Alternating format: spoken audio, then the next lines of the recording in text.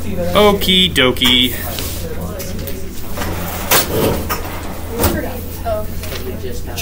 Oh, and here, Gabby, let me get you the uh, grade paper.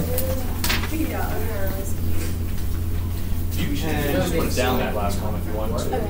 It's. All right, you're welcome. Thank you. Was there just four? Four should be four. Or did we have? Did we have a warm up yesterday? We did have one yesterday before the quiz. Okay. Okay. Here we go. So we're going to do kind of like a brief foray into um, square roots and stuff like that. We will do a more in-depth uh, look at square roots at a separate unit. Okay, we'll have an entire unit where we do square roots and cube roots. But in order to solve some of the quadratic equations that we're going to be seeing, right, or in order to you know one extra strategy to use, we're going to need to look at square roots. So that's why I gave you what I did for the warm up.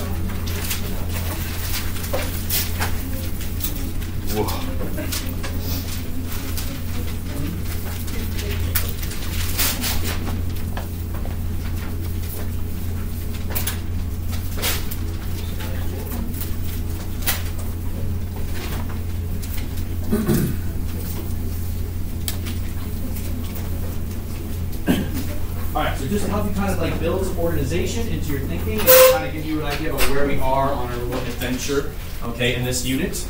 We started this unit, okay, with graphing quadratic functions, right? And there were three different function forms we should be familiar with when we come to graphing quadratic equations.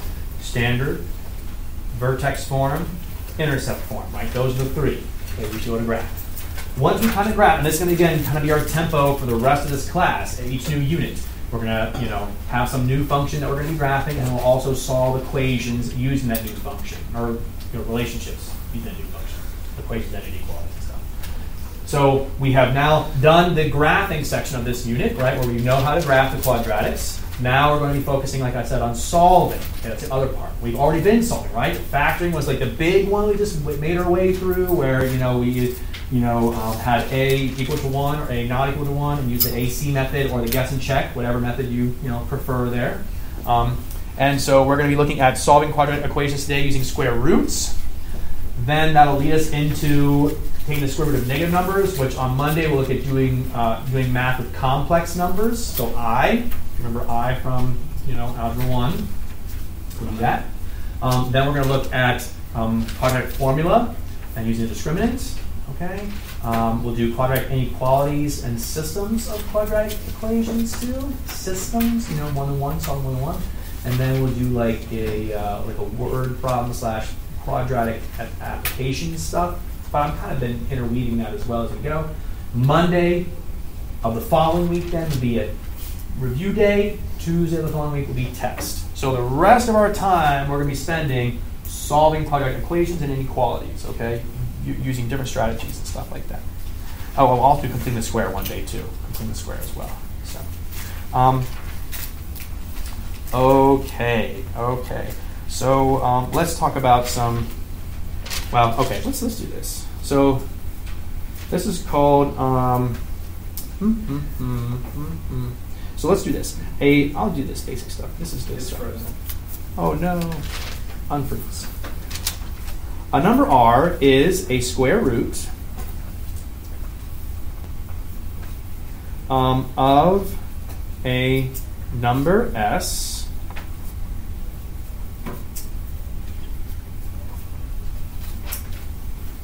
if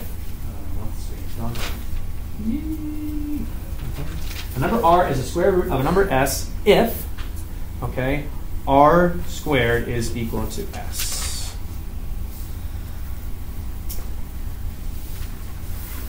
Okay.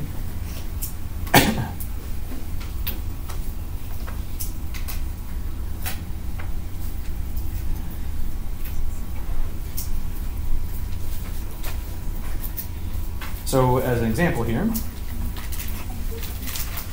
okay, um, since 3 squared is equal to 9 and negative 3 squared is equal to 9,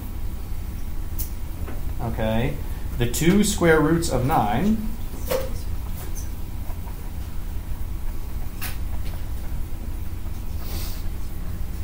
are 3 and negative 3.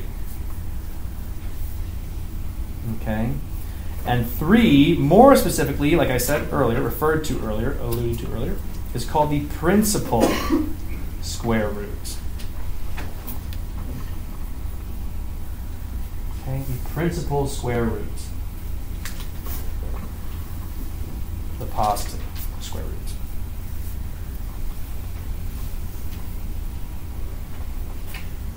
Okay? And that is the answer you should give when you see square root of 9 in the y. Okay? So if you see what's the square root of 9, you should answer 3, not 3 and negative 3. Okay? It's only when you have the equation that you want to put that plus or minus part in there. Okay? So um, we have, you know, the expression. Um, so square root of s. This is this symbol right here is called the radical symbol, or it's called a radical. Okay.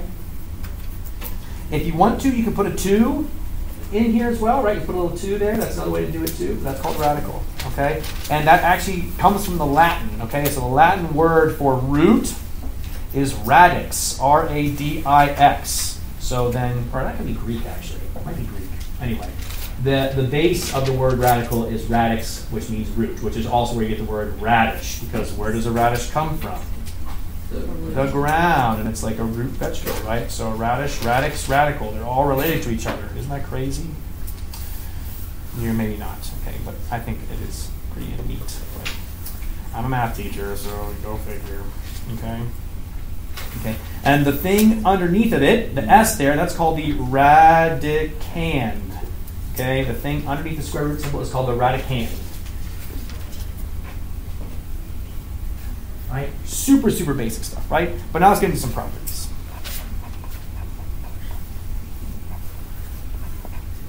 Of square roots.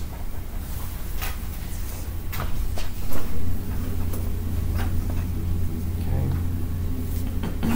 So for these properties, please assume that A is greater than 0 and that B is also greater than 0.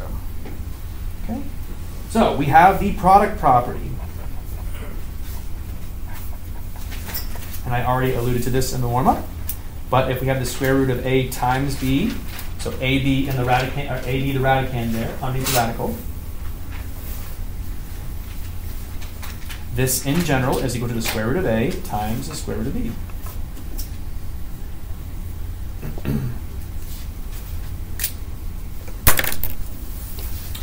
Additionally, we have the quotient property.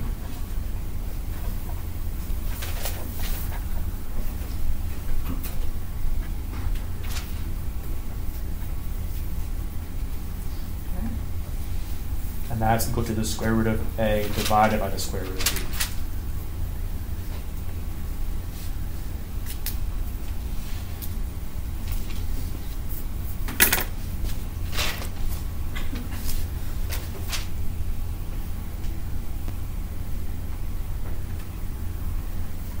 b. Okay. Note. No addition subtraction property.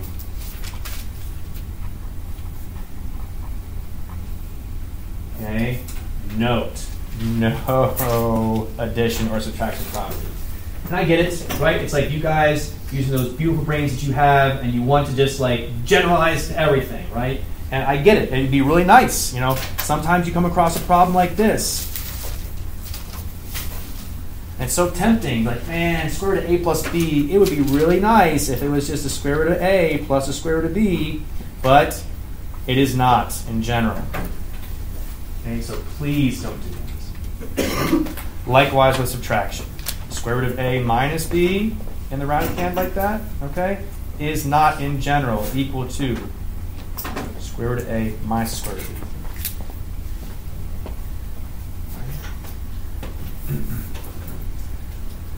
Here's a tip that I'm going to give to you guys that I used when I was a student, okay, to kind of help me jog my memory sometimes because I hated memorizing things. All right? So what you can do if you get to like a situation, right, where you aren't able to look this up, like a test or a quiz, right, and you get stuck. You're like, oh crap, am I allowed to break this up or not?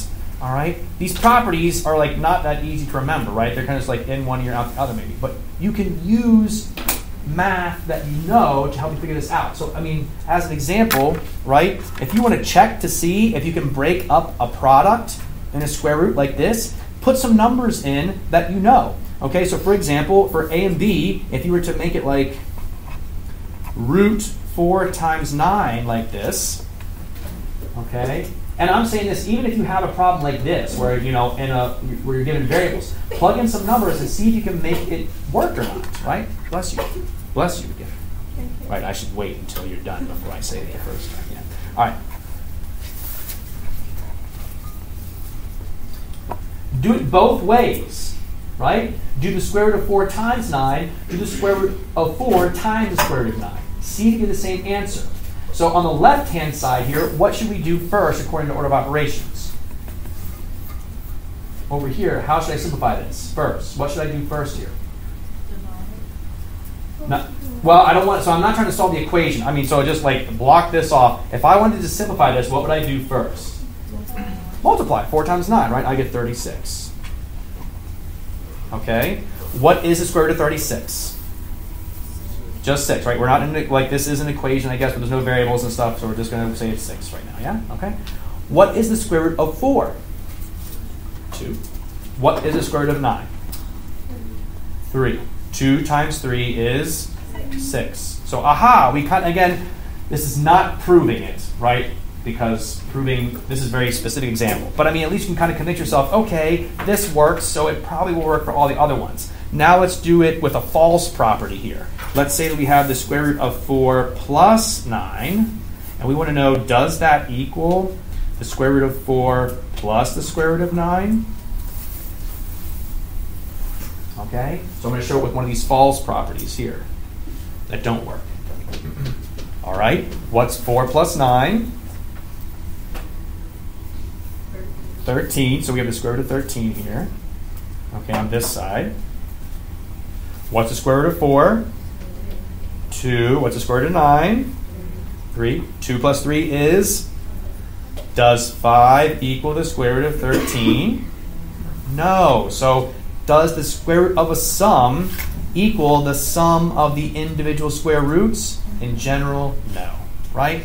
This is something you can do when you're on your own and you don't have someone to kind of help you out, okay? If you're not sure if you can do a certain property, put some replace it with some numbers, okay?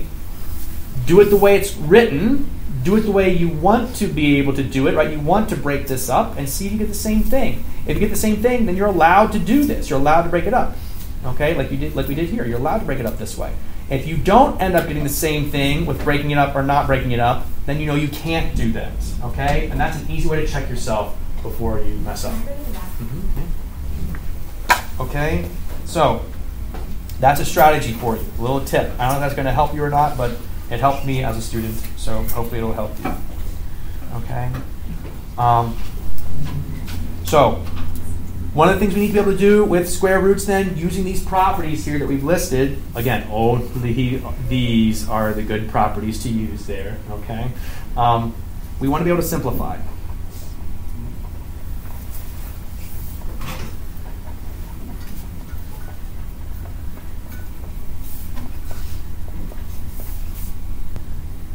Okay? And there's two kind of things we need to look out for to, to show that a square root expression is simplified. Okay?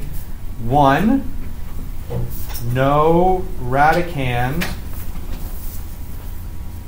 has a perfect square factor other than 1.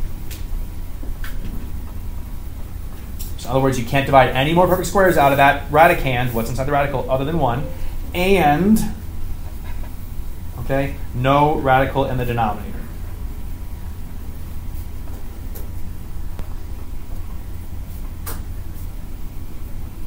Now, for those of you that plan on getting to calculus, Number two, you get to ignore that one. Okay? So for whatever reason, the AP uh, people, for um, you know their rules or their expectations, they don't rec- they don't care if you have a radical in the denominator or not. So like when I teach pre-calculus, I don't normally make my students rationalize their denominators, but since we're in algebra two, we're going to do it. Okay, so yep, yep, yep, we'll be doing this. So we're going to have to make sure both of these are true before we can say our square root is completely simplified. Okie dokie.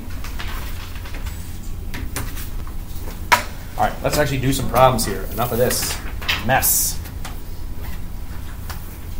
Am I okay to move it up that much? Let's do some examples. So simplify.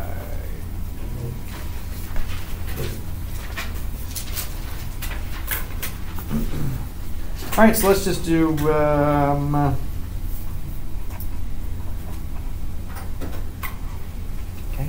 30.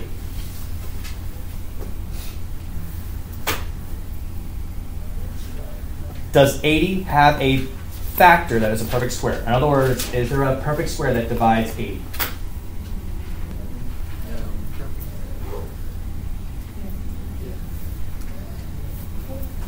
Ah! ah! I lost it. I heard yeses, I heard noes. Can't be both, right? It's one or the other. Is there a perfect square that divides 8. Four is one of them. We could do four. Okay? Did anyone have a different idea besides four? So, okay. Eight. Eight's not a perfect square. It would divide it, but eight's not a perfect square. It could be helpful though because eight could break up into a four and a two. 16. Yeah, so 16, okay? And 16 would be the the quicker one because it's the biggest of them. But we'll use the 4 because that's what we said first, right? And you guys do whichever one you see. If you can see that this divides by 4, do it. If you see it divides by 16, do that one, okay? The bigger the square root you pull out, the quicker it'll be for the simplification. All right, so this is equal to root 4 times 20, right? Which is equal to root 4 times root 20. Now, I am writing this out very explicitly. You guys can skip some of these steps if you want to, if you feel comfortable, okay? And I will start to skip them now, but because we're learning it this way now, I'm going to do it this way. So, back to our question. Can I now factor 20 using any perfect squares? 4 again, yeah, the fourth. So 2 root 4, and in fact, I'm just going to go ahead and start skipping steps now, okay? So 20, root 20 is root 4 times root 5, which will be 2 times 2 times the square root of 5, which is 4 root 5. Okay, there you can see Christian 16 that he mentioned, right? If we had done the 16, it would have become a 4, and we'd have just root 5, we would have been done quicker, you know? But again, you take as many as the square roots out as you need to. Ash? Oh, uh, if you're done, uh, you can bring it up here and I'll take it. Also, do we have uh, do we have to do it that way, or can we do like the? Oh, if you're fine with it, if you want to use the factor tree method, that's fine. And if there's ever a problem, Christian, where it's like you want to see it with the factor tree stuff, you let me know. But I'm going to be doing it this way, if that's okay with you. But if there's ever a time where you're like, Miss Way, could you just show with the factor tree? I'll do that way too. Okay? But I'm just going to do it this way because it saves more space. The factor tree takes up, you know, more space going the vertical one. But you do it however you want. Does that sound fair? Yeah. Okay. If it's not, let me know. If you feel like you know you want me to show it both ways every time, we can talk about that. But I also want to be able to get stuff done here too. So, all right, let's try another one here. We'll do one more, and then I'll try some other kinds of problems. All right, how about um.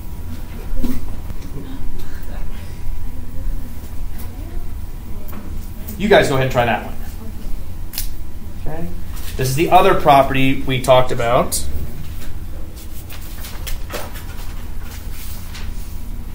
I'll kind of put that up there for you to see. Okay, so try that one real quick.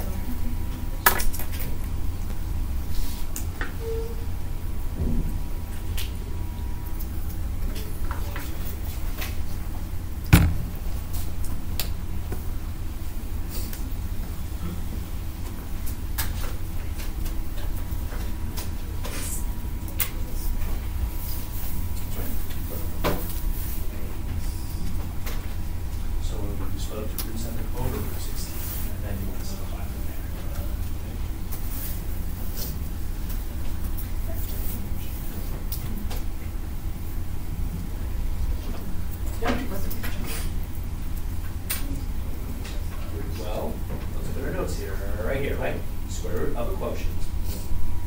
the square root of the numerator divided by the of the denominator. So split it up, right? And then do your individual square roots.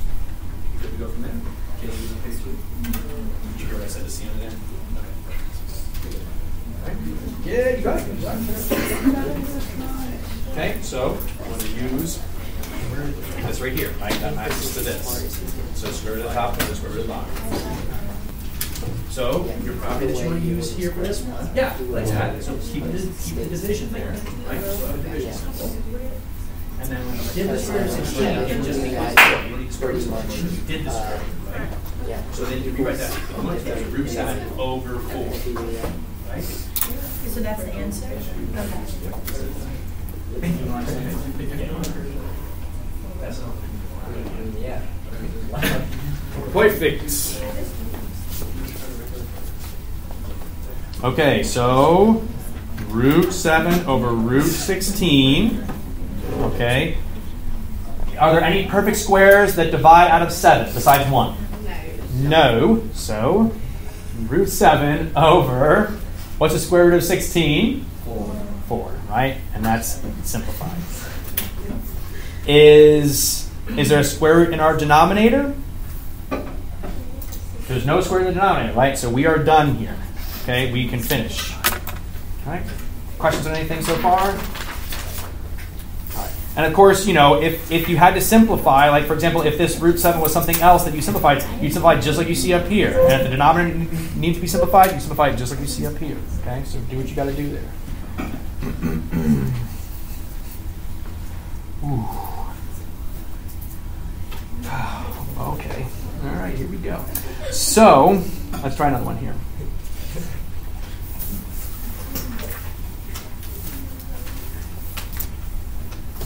Okay, root 5 over 2. Root, square root of 5 over 2. Okay, square root of 5 over 2. Okay, so we'll break this up, right? Make it root 5 over root 2, square root of 2. Right?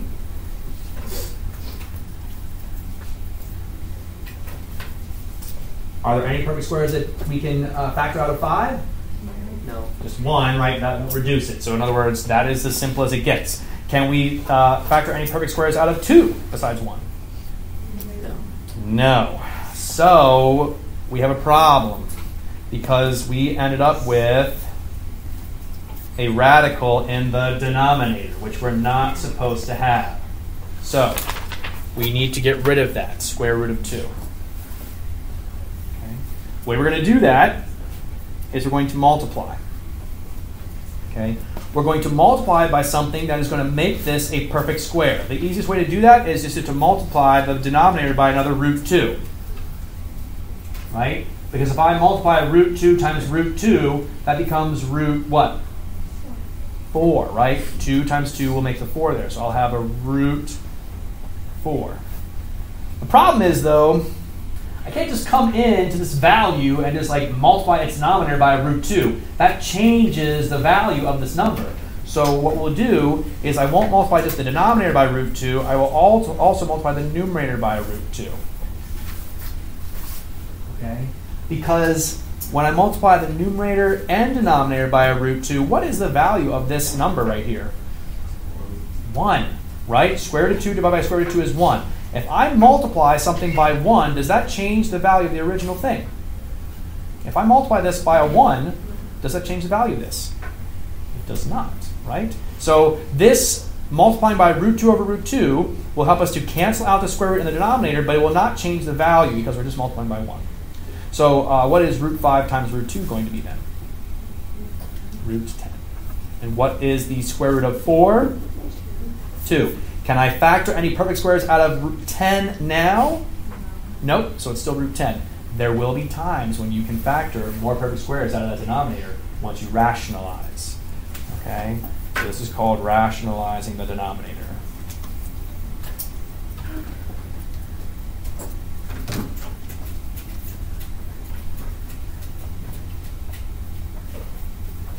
Okay? We take something that was irrational. Square root of 2 is irrational, right? Because the square root of 2 is a its decimal goes on forever, never repeats in any sort of regular pattern or anything like that. we take something that's irrational, we make it rational. Okay? That's a rational number 2. because the number 2 can be written as a fraction of two integers. Okay, so it makes it rational.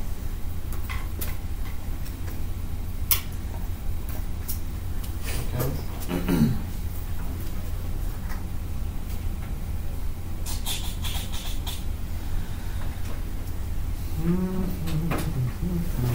Okay, one more example here. And then we'll do an equation or two. Ooh.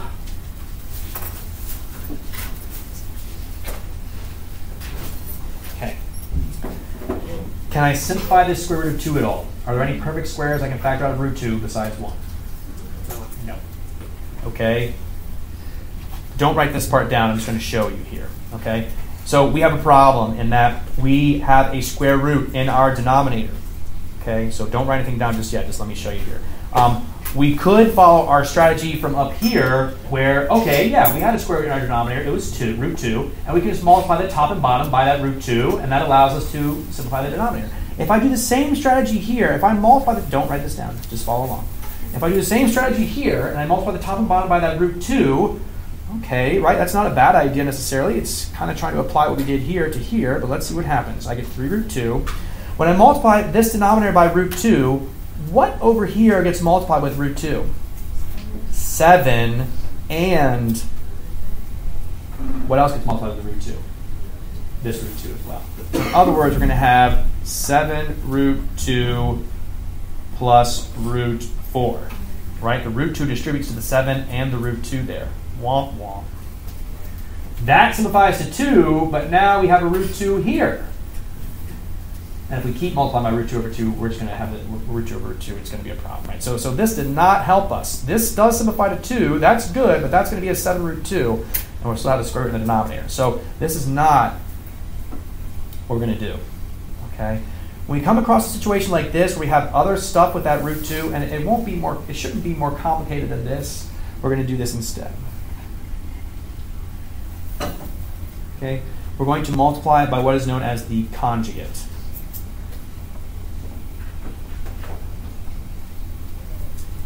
Okay? So 7 plus root 2 multiplied by the conjugate 7 minus root 2.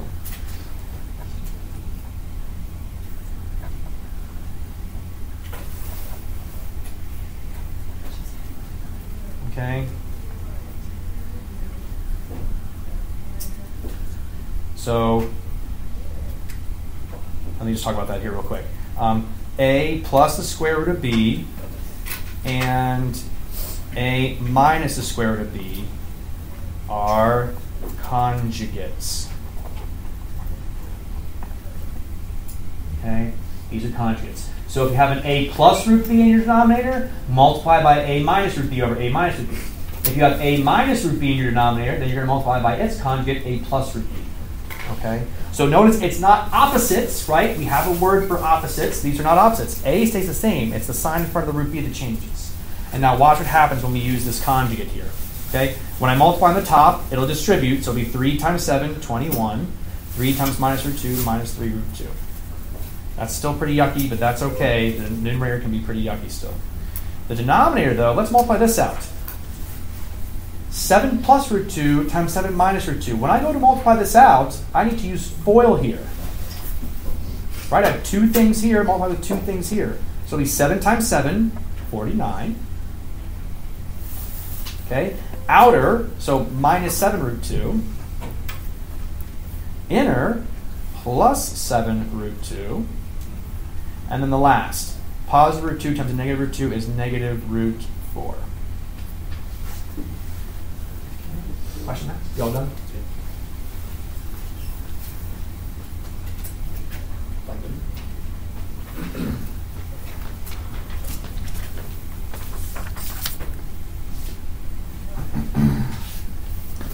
Okay, and now let me simplify this because this does simplify. In fact, do you guys see anything? What cancels out here? The. The 7 root 2. Right. The minus 7 root 2 and the plus 7 root 2 cancel out. And that will always happen when you multiply by the conjugate. Okay? So the numerator will stay the same. And then we'll have 49 minus, what's the square root of 4? 2. 49 minus 2. So we'll finally end up with 21 minus 3 root 2 all over 47. And that will be our final answer. We'll stop there. Mr. With that simplified, well, that follows the guidelines that I gave you guys, right? No radicand has a perfect square factor other than 1, right? We cannot simplify root 2 anymore. No radical in the denominator. There's no more radical in the denominator. You've simplified this as much as you can. Okay, that's it. Okay? Questions on any of that? So that's another thing you should be able to do there. Another thing you should be able to do. All right. And I'll show you one equation, and we'll get you guys started on your assignment here. So I think we should be okay otherwise. Yeah. yeah. Okay, let's do one equation here. Um, sure, let's do this one.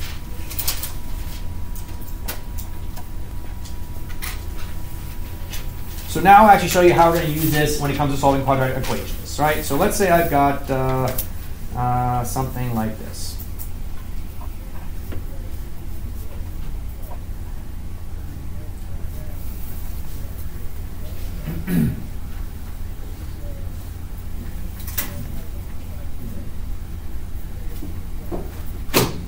okay, the key thing you want to do here, and I'll write, I'll star this here.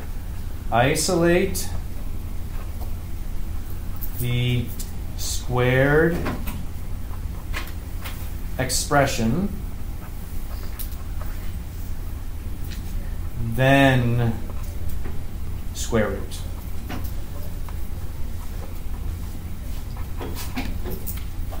Okay, I isolate the squared expression, then square root. Do not square root. I mean, I guess technically you could square root both sides here, so I should back off a little bit there, but. You want something that's going to be a good guideline to follow in general, get that square root expression by itself, then square root and solve, you know, from there. Okay? So, here's our squared expression, right? x plus 3 is being squared, right? But is it by itself? Is the x plus 3 squared by itself? No, what's with it? One fifth. We got to get rid of that one fifth before we can square root. Technically, we don't have to. We could square both sides at this point, but it's going to be easier if we, if we get rid of one fifth first. Okay? So, how do we get rid of a one fifth? Divide both sides by one five, one fifth, or yes, multiply by the reciprocal. Okay? You do not need a calculator for this problem. But Ms. Witt, how am I going to divide seven by one fifth? You won't. You're going to multiply both sides by the reciprocal of five over one. Okay? Again, it's time to put those old ways of algebra behind us where we just blindly type things into calculators. Divide both sides by one fifth. No. Multiply by the reciprocal. You can do this math in your head or on a piece of paper. Okay? 35. Okay.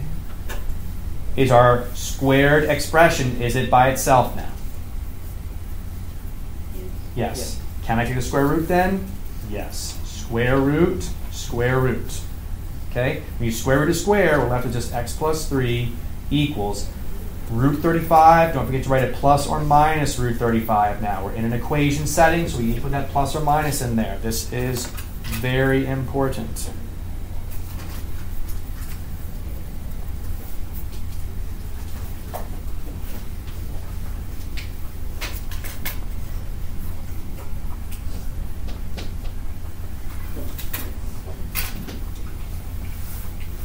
Okay. Plus or minus once you square root. And our final step. Get the x what's what's we still need to solve for x, right? So what do I need to do? Move. Subtract three, right? So we get x equals negative three plus or minus the square root of thirty-five. Okay. Um, the previous step would also be a good place to simplify that square root of 35, so I apologize there. Um, the previous step would be a good place to simplify that square root of 35, but are there any perfect squares that divide 35? No. Okay, so we can't simplify that root of 35, but this is where you'd want to simplify it. I mean, you can simplify it wherever you want, really, but I'd encourage you to do it right here, you know, if you can simplify it anymore. but there's no perfect squares to divide it.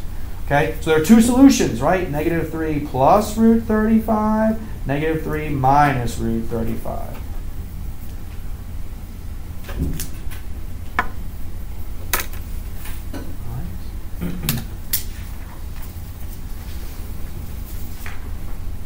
Are you feeling pretty good there? Does anyone want to see another example of uh, solving a square root equation? Anyone want to see another one or want to see a different one? Feeling all right?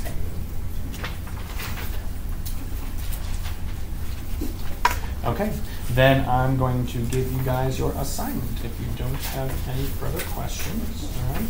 Um, so I'm going to post this here in just a second, but it is again out of the green book. Okay. Um, it's going to be section er, 4.5, starting on page 269. Okay.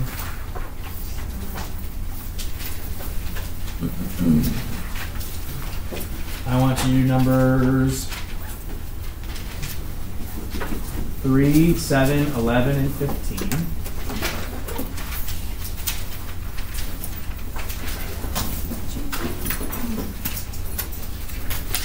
Um, 25, 28, 31.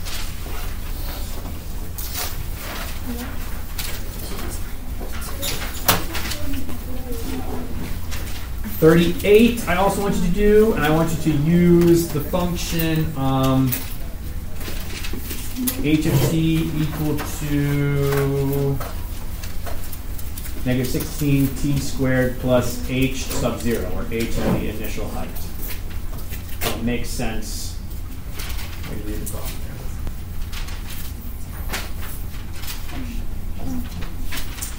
And then also Hmm. number 40. So there you go. I'll post this right now.